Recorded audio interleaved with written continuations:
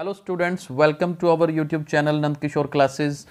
Yesterday we had done basic concepts of trigonometry. We had learnt about trigonometric ratios. But today we are going to start exercise 8.1 NCERT book trigonometry chapter class 10th. Look at question number 1 on the board.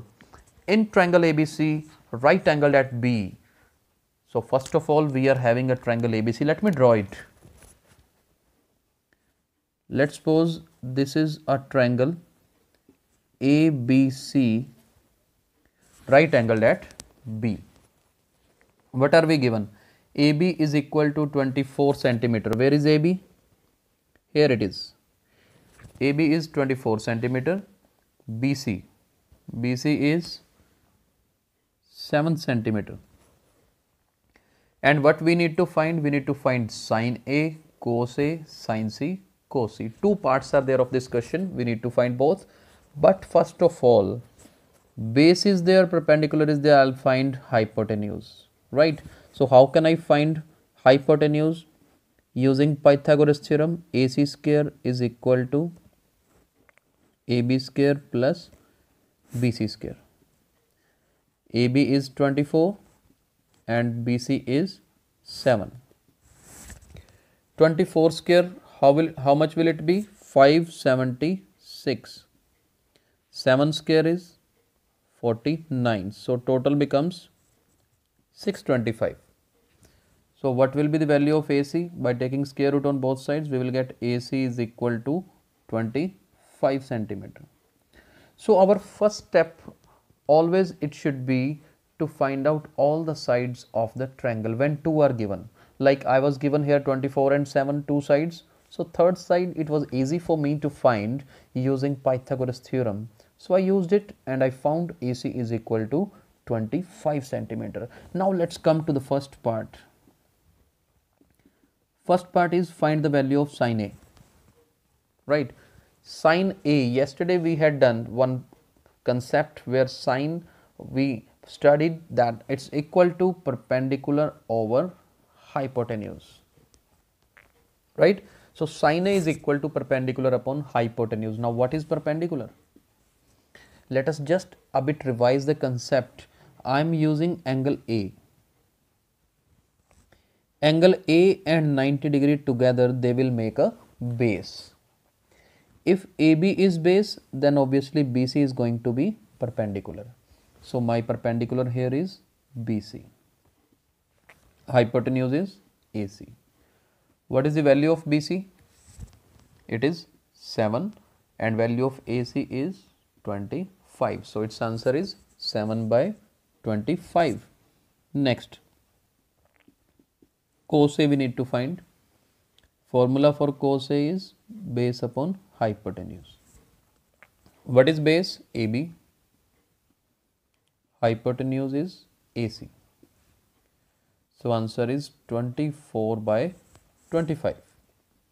Let's move to second part.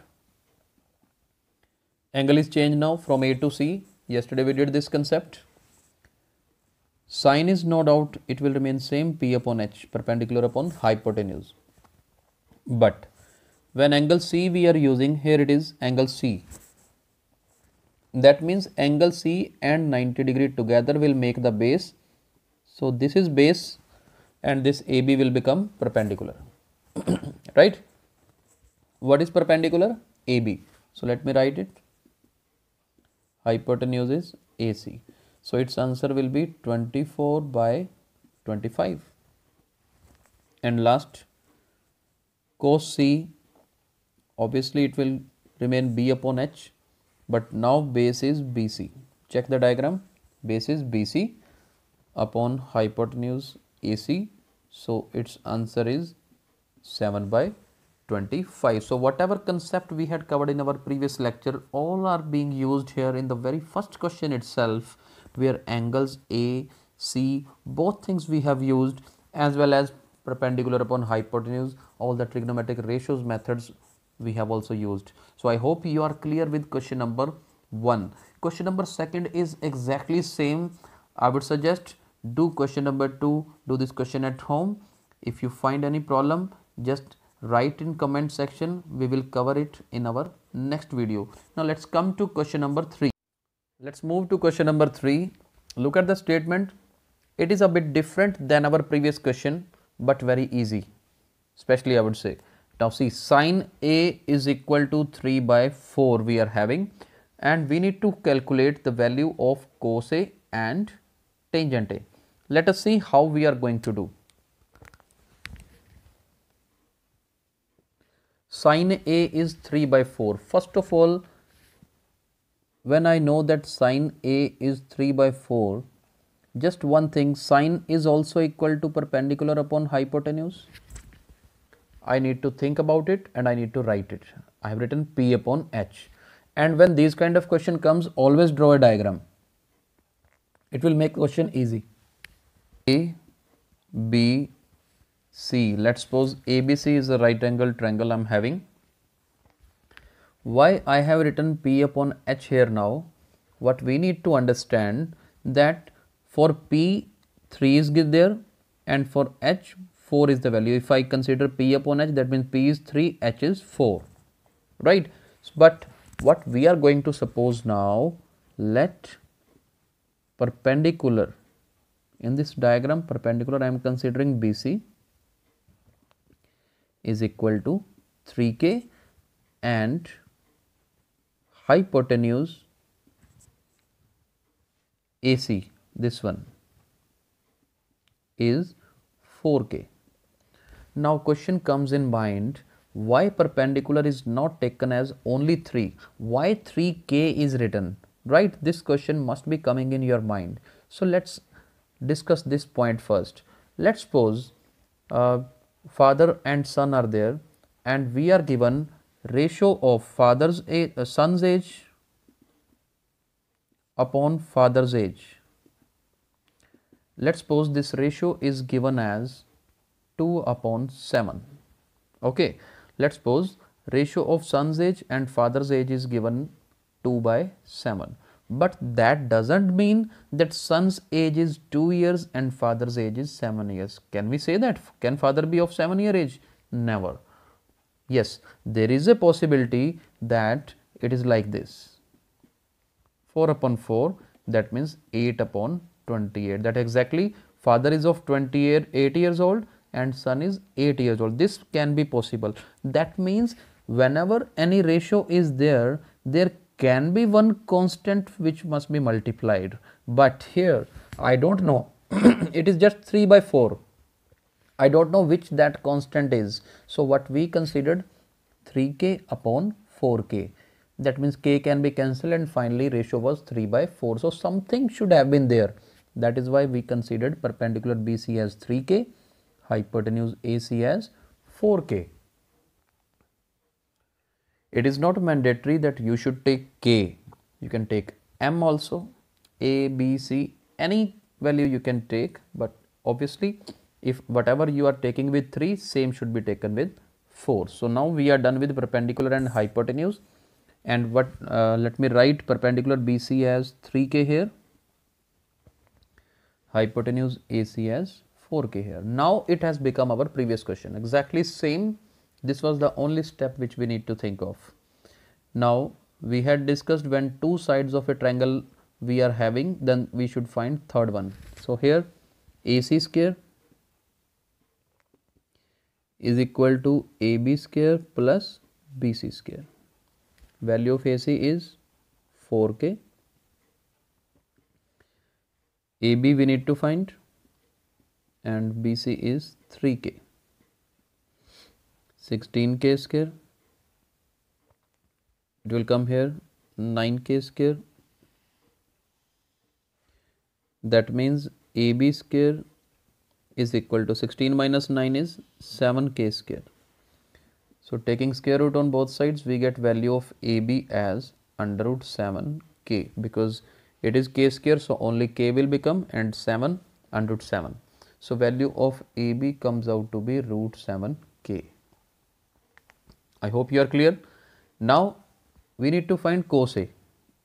Look at the given question. Cos A is given by base upon hypotenuse. What is base? root 7k and hypotenuse is 4k. k and k cancelled, we get root 7 by 4. So, its answer is root 7 by 4. Next is tangent A. Tangent A is P upon B. That means perpendicular. What is perpendicular? Perpendicular is 3k here.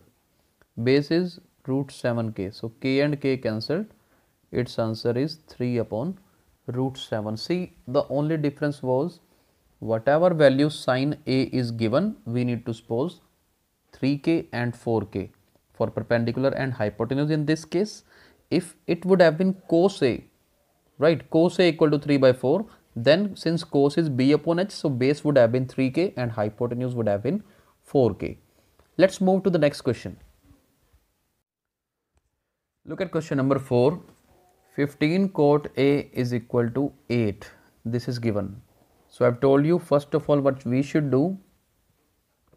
We should draw a triangle. Okay. So, let us draw a triangle ABC, right angle at B. Now, when we are given 15 cot A is equal to 8, this question is exactly same as that of last question, but first step is different. Just cross multiplication. Cot A is equal to 8 by 15. Once we are done with cot A is equal to 8 by 15, now cot is base upon perpendicular. Right, we should remember this and then our task is easy. Let base AB is equal to 8k and perpendicular BC is equal to 15k accordingly this is P 15k base 8k let me write here. Right? So what we should do now we should find 8 AC how will find AC AC square is equal to AB square plus BC square. AB is 8K, so 8K square. BC 15K, so 15K square. It is 64K square plus 225K square. 225 plus 64, what will we get? 289K square. So finally, value of AC will come out to be square root of 289 is 17 square root of k square is k. So ac is equal to 17k right? So i'm writing 17k here. So we have found the hypotenuse. So our task is very easy now. Sine a. Sine a is perpendicular over hypotenuse. What is perpendicular? I'm having 15k and hypotenuse 17k. So k and k cancelled, its answer is 15 by 17.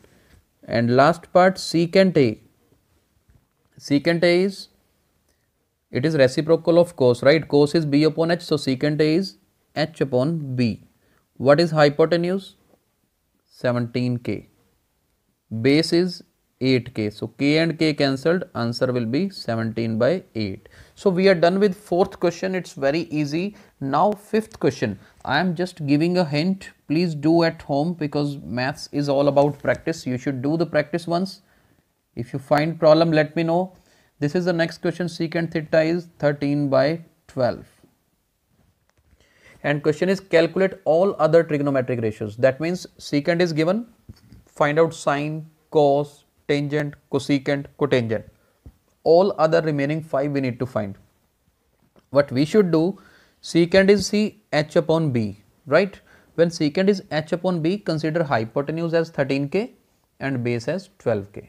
When h and b are given, find out perpendicular and use the same method to find out other trigonometric ratios. I hope you like the video and you have understood all the concepts.